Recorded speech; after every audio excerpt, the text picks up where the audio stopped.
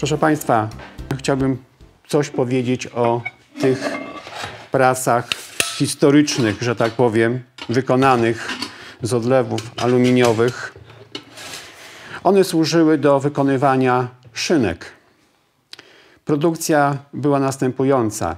Najpierw całą szynkę ze skórą, z tłuszczem, z kością poddawano procesowi peklowania przez kilkanaście dni.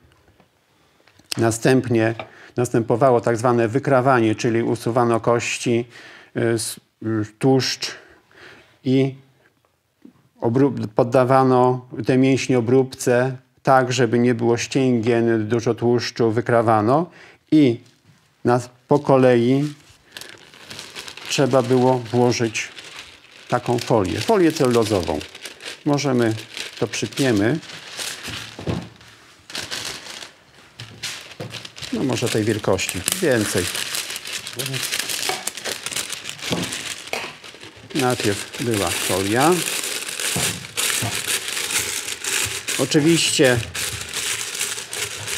żeby związać sok mięśniowy, który się wydobywał w trakcie obróbki termicznej, wsypywano odpowiednią porcję żelatyny. My tutaj włożymy tą sobie praskoformę do środka.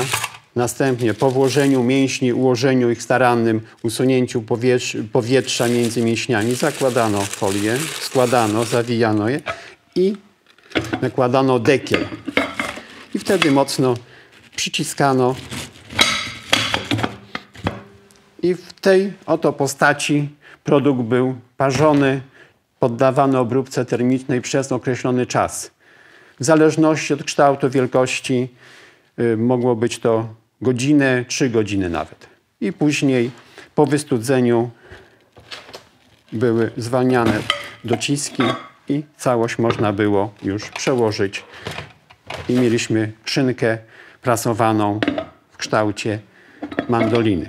Ale woda powoduje, że nie ma nie dostępu być tlenu do jednakowe. powierzchni mięsa.